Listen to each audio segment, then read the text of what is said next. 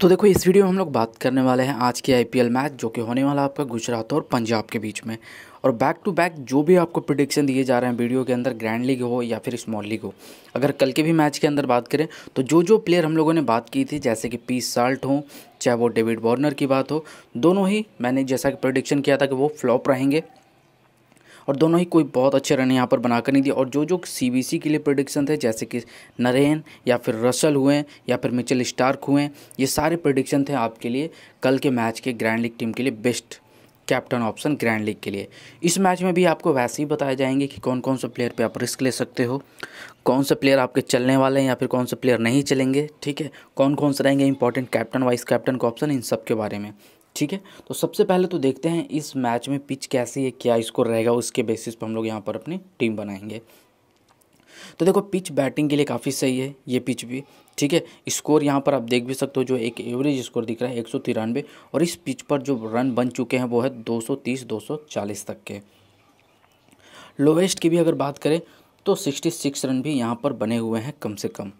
ठीक है? तो अभी बात करते हैं प्लेयर सिलेक्शन की।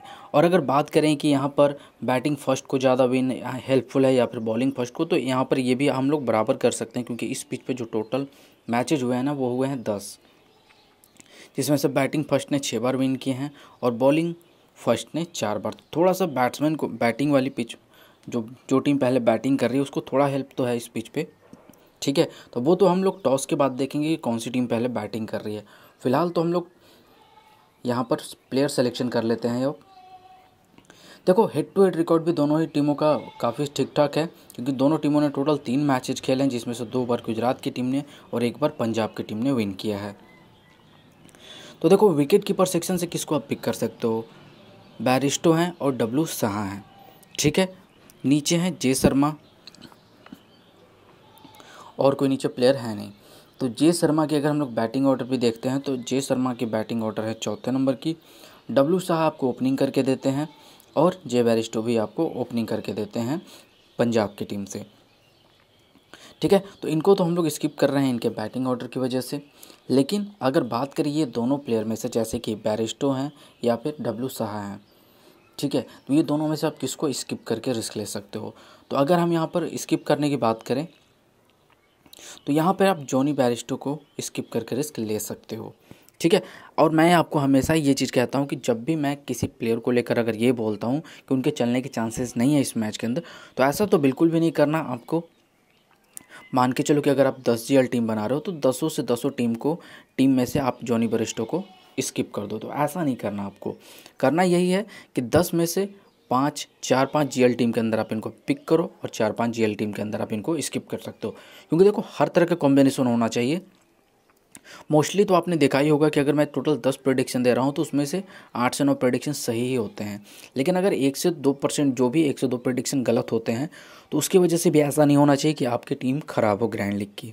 तो जिन भी प्लेयर पर मैं रिस्क लेने के लिए बोलता हूँ, उनको आप ज़रूर रिस्क लो, उनको हटाकर स्किप करके बट उनको कुछ टीम में रखो भी। ठीक है? तो ये हो गए यहाँ से जी प्रोडिक्शन बैटिंग सेक्शन से देखो, धवन को मैंने पिक किया है गिल को पिक किया है और साई सुधाकर को पिक सॉरी सुदर्शन को पिक किया है, ठीक है? ये तीन प्लेयर को पिक किया है। इसके अलावा यहाँ पर हमारे पास डी मिलर हैं वी शंकर हैं पी सिंह है, ये सारे कुछ प्लेयर अवेलेबल हैं, ठीक है? अब देखो कौन कौन से प्लेयर यहाँ पे आप रिस्क ले सकते हो। वैसे तो शिखर धवन भी अच्छे हैं फॉर्म में चल रहे हैं सुमन गिल भी और साई सुदर्शन भी। तो सबसे पहले अगर बात करें इस सेक्शन से इंपॉर्टेंट की प्लेयर ऑप्शन की ठीक है? तो नीचे बहुत ज़्यादा इंपॉर्टेंट प्लेयर तो नहीं है पी सिंह ठीक ठाक है। डी मिलर मेरे लिए एक इंपॉर्टेंट की प्लेयर ऑप्शन रहेंगे इस मैच में। तो इनको आप ग्रैंड लीग टीम में देख सकते हो। अगर इनको स्मॉल लीग टीम में पिक नहीं कर रहे हो तो तो ग्रैंड लीग टीम के लिए काफ़ी इंपॉर्टेंट की प्लेयर ऑप्शन रहेंगे। बाकी बात करते हैं यहाँ से कौन से प्लेयर को स्किप किया जा सकता है। तो यहाँ पर देखो, धवन, गिल और सुदर्शन, ये तीनों में से हम अगर रिस्क लेने की बात करें तो आप धवन पर रिस्क ले सकते हो। ठीक है? नेक्स्ट आता है हमारा ऑलराउंडर सेक्शन ऑलराउंडर सेक्शन से आप यहाँ पर सैम करन को मैंने पिक किया अपने टीम में लिविंगस्टन को पिक किया है और उमर जाई को पिक किया है। ठीक है? तो ये हैं हमारे कुछ इंपॉर्टेंट प्लेयर जिनको कि हम लोगों ने यहाँ पर पिक करके रखा है गुजरात की टीम से और पंजाब की टीम से। अब अगर बात करते हैं यहाँ पर की प्लेयर ऑप्शन की तो इस सेक्शन में भी देखो बहुत ज़्यादा इंपॉर्टेंट कोई की प्लेयर ऑप्शन नहीं है। हाँ अगर राहुल टेवटिया आपके कंप्लीट ओवर बॉलिंग कर जाते हैं तो ये आपको कुछ अच्छे विकेट निकाल के दे दे सकते हैं, ठीक है? लेकिन इनका मैटर करता है इनके कि कितना ओवर ये बॉलिंग कर रहे हैं। सिर्फ़ एक से दो ओवर करा रहे हैं तो फिर कोई मतलब होगा नहीं पिक करने का, ठीक है? क्योंकि अगर इनके बैटिंग ऑर्डर की भी बात करते हैं तो इनकी बैटिंग ऑर्डर काफ़ी नीचे है, सातवें नंबर पे। तो इसलिए भी इनको हम लोग स्किप कर सकते हैं। बाकी करण है, लिविंगस्टन है और ओमर चाई हैं। इन तीनों में से अगर हम बात करें प्लेयर यहाँ पर जिनको कि आप स्किप कर सकते हो तो लिविंगस्टन पर मैं यहाँ पर बोलूँगा कि आप रिस्क ले सकते हो। ठीक है? नेक्स्ट आता है हमारा बॉलिंग सेक्शन बॉलिंग सेक्शन से कौन कौन सा प्लेयर पिक करना है? उसके बाद आपको स्मॉल लीग का फाइनल प्लेइंग एलेवन मिल जाएगा, ठीक है? और इसके बाद मैं आपको दूँगा इंपॉर्टेंट सी ऑप्शन जो कि आपको ग्रैंड लीग टीम में पिक करना है। देखो, राशिद खान और इसके बाद है एम शर्मा मोहित शर्मा और ए सिंह। ये तीन प्लेयर क्या है कि आपके इंपॉर्टेंट पिक रहेंगे बॉलिंग सेक्शन से। लेकिन अगर यही बात करते हैं इंपॉर्टेंट की प्लेयर ऑप्शन की तो उसमें आप ट्राई कर सकते हो एच पटेल को। एच पटेल काफ़ी इंपॉर्टेंट पिक रहेंगे, इनको आप पिक कर सकते हो की प्लेयर ऑप्शन में। नीचे देखो एक प्लेयर हैं, अगर ये कंप्लीट ओवर बॉलिंग करते हैं, इनका कुछ नालकंदा करके नाम है, ठीक है? अगर ये कंप्लीट ओवर बॉलिंग करके देते हैं आपको तो ये भी एक आपके लिए इंपॉर्टेंट पिक रहेंगे इस मैच में। तो की प्लेयर ऑप्शन में मैं फ़िलहाल इनको रख रहा हूँ। डिपेंड करेगा इनकी बॉलिंग ओवर पे कि कितने ओवर इनसे कराई जा रही है। ठीक है? और के रबाडा को आप देख सकते हो।